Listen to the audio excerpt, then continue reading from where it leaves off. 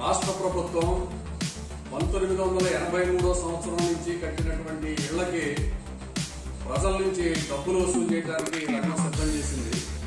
ఇప్పటికే వసూళ్ళకి పూనుకుంటాంది. దీనికి one time settlement అని ముందు పేరు పెట్టి ప్రజల మీద భారం వేయడానికి సంసిద్ధమైంది. రాష్ట్ర ప్రభుత్వం ఈ చర్యని తక్షణం మానుకోవాలని సిపిఎం పార్టీ పశ్చిమ గోదావరి డెల్టా జిల్లా తరఫున డిమాండ్ చేస్తున్నాం. ఇది ప్రజల మీద భారం అయింది తప్ప మరొకటి కాదు.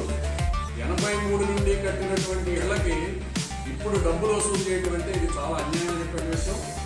ఎన్నికల సందర్భంలో ఆ రోజున పాలక పార్టీలుగా ఉన్నవారు కానీ ప్రధాన ప్రతిపక్షంగా ఉన్నటువంటి వారు కానీ ఇళ్ళ బకాయిలు రద్దు చేస్తాం అనే హామీలతోటి అధికారంలోకి వచ్చారు.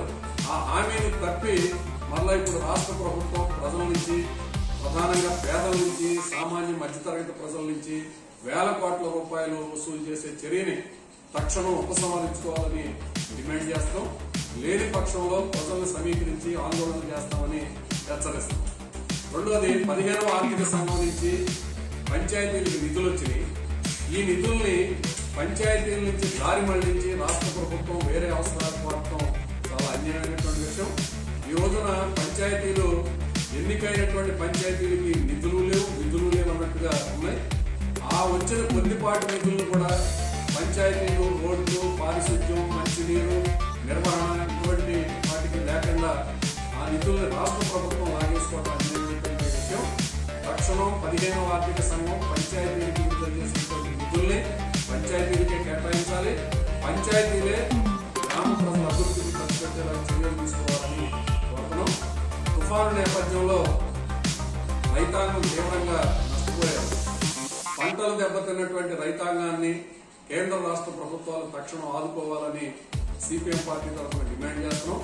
కేంద్ర ప్రభుత్వం కేవలం పంట నష్టాన్ని పరిశీలించి వెళ్ళిపోవడం కాదు రాష్ట్రానికి తగినటువంటి సహాయం చేయాలి నష్టపోయినటువంటి రైతుల్ని ఆదుకోవాలి.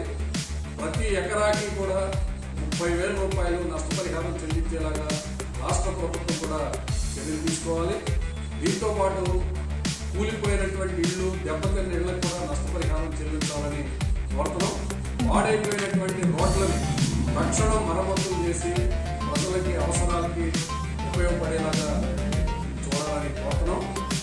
మరలా తుఫాను రాబోతుంది. ఈ తుఫాను నేపథ్యంలో అధికార యంత్రాంగం ప్రభుత్వం రైతాంగం నష్టపోకుండా తగినటువంటి చర్యల్ని